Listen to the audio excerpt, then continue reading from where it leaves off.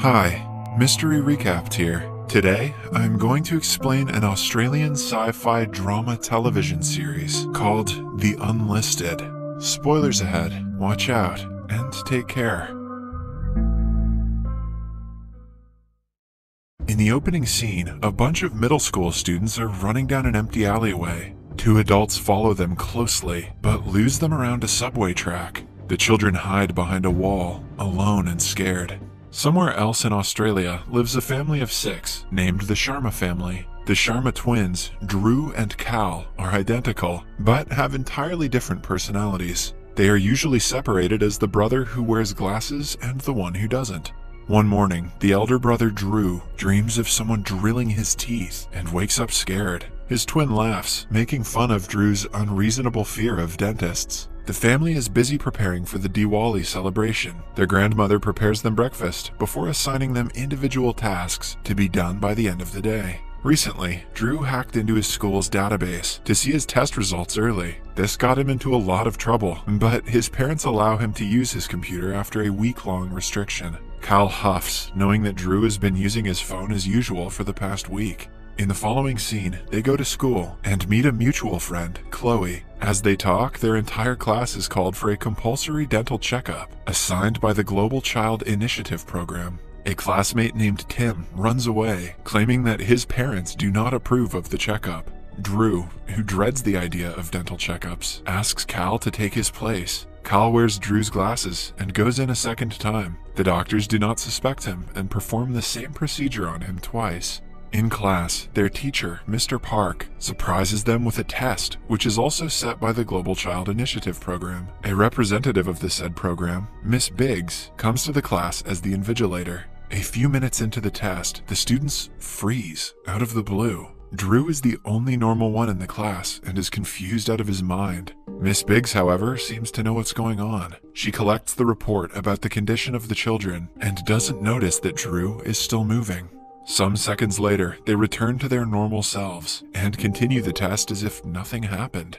After the class, Drew tries asking Cal why he froze, but Cal doesn't know what he is talking about. This is followed by a series of strange incidents, like Cal cycling really fast without realizing, and breaking a glass of ghee with his bare hands. Drew repeatedly tries telling him something is off, but Cal thinks he is being dramatic. Later, the brothers are outside a store when Tim comes running to them. He is the same guy who refused the dental checkup that day. He tells them to not trust anyone and be careful before running away. The twins notice a black van following Tim and decide to pursue them both, but they cannot keep up with the car and eventually lose them. In the evening is the Diwali celebration, but the guys are too occupied to enjoy the festival. They call Tim's parents, who are just as worried. Suddenly, a group of men kidnaps the couple before ending the call. The brothers think of calling the police, but remember that Tim asked them to not trust anyone. They also do not want to tell their parents, because that would put them at risk of being kidnapped.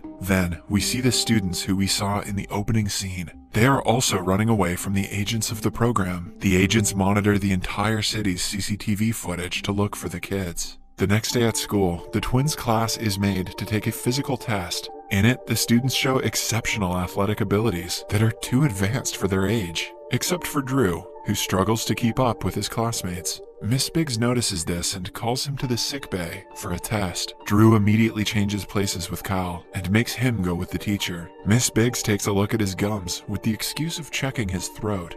Cal realizes that during the dental checkup, they must have been planted with some kind of bug that is causing him and the others to act weird. But since Drew skipped the test, he remained normal. These brothers are slow on the uptake. I figured that out like three paragraphs ago.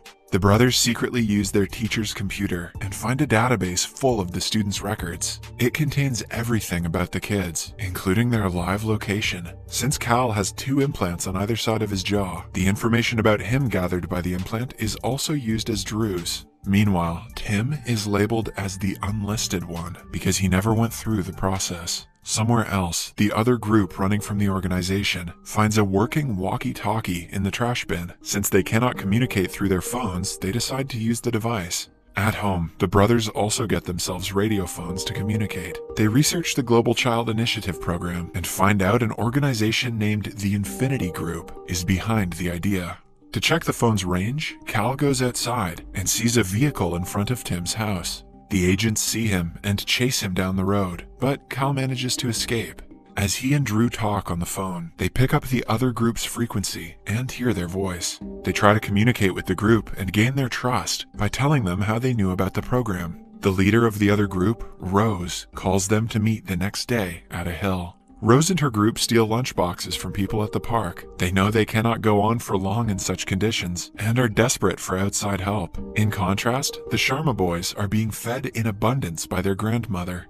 At school, they play kabaddi, but are placed on two different teams. Because of Cal's newfound strength, he easily wrestles the other team, but this also makes the agents suspicious of him. Drew asks him to lose the next round so they won't be caught.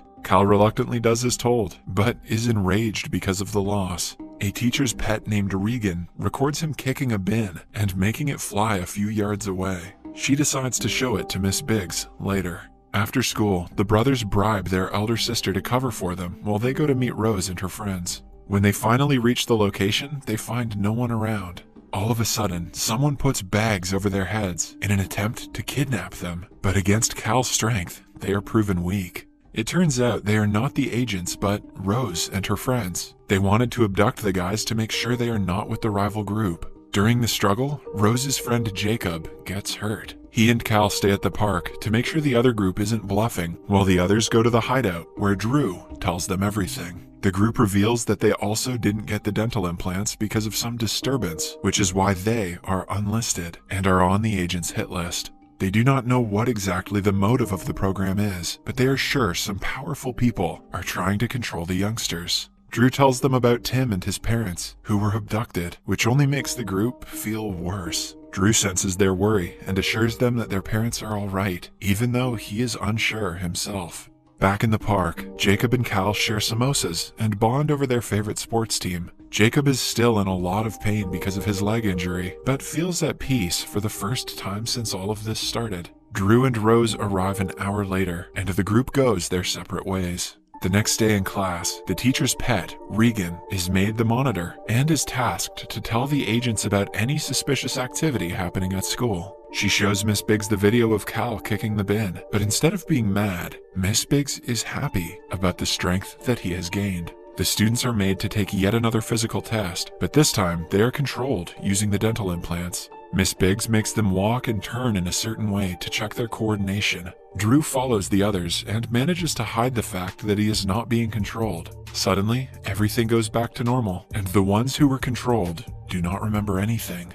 On their way back home, the twins are approached by Rose. They quickly rush to the hideout to see that Jacob's injury has gotten worse. He has a fever because of the infection that will surely get worse if not treated immediately. To help him, Drew and Cal go to their Aunt Maya's clinic. They plan to stall her and steal some antibiotics, but she catches on to their strange behavior. When she calls them out for it, they have no choice but to ask her for help. Still, they only tell her about the injured kid, not about the Infinity Group. The three of them come to the hideout to be attacked by Rose and the others. They think the twins betrayed them, but the boys quickly explain the situation. Maya is shocked to see the condition the kids are living in. She takes care of Jacob's injury first, before asking the kids what is going on.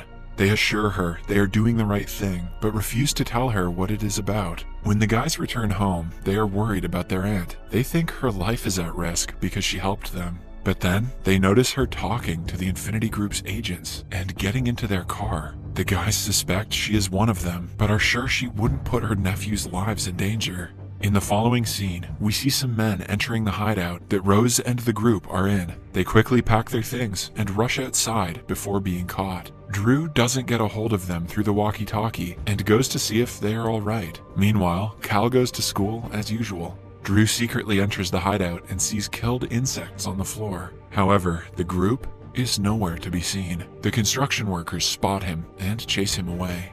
He figures that the group is probably safe and had to hide because of the workers. At school, three agents from the Infinity Group stay in the classroom throughout the lecture. But something more strange happens when Tim returns to school as if nothing ever happened. The guys try talking to him during recess, but he dismisses the conversation. After school, Drew returns home and wants Cal to join because the agents might notice the implant's location and Drew's location are different.